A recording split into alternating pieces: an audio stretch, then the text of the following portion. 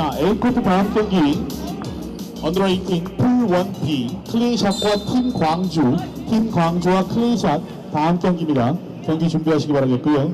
B코트 다음 경기 under 18 pool 1C 프로젝트 볼과 바바 파파 바바 파파와 프로젝트 B볼 경기 준비하시기 바라겠습니다.